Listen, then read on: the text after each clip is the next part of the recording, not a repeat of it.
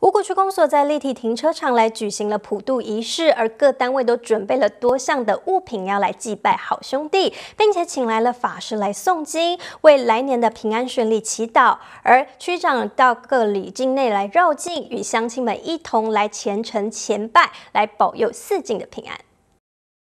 五股区公所为沿袭中华传统文化，祭祀先祖及好兄弟，十五号在立体停车场举行普渡仪式。公所同仁、各里里长及地方上的机关团体也都一同前来拜祭。今天是我们五股区的全区的大普渡而，是由我们公所主办，然后我们各界的代表啊，各界的议员、地方的上的士绅、里长。各公庙团体一起来占破，我们都希望说，在我们五谷的地方能够诶风调雨顺、区政顺利，然后大家身体健康。这项五谷区历年来既有的传统普渡仪式，各单位准备了多项物品来祭拜好兄弟。现场也请来法师诵经祈祷来年的平安顺利。我们会有绕境哦，用车辆绕境，这是我们已经传好几年的传统。希望透透过绕境，然后在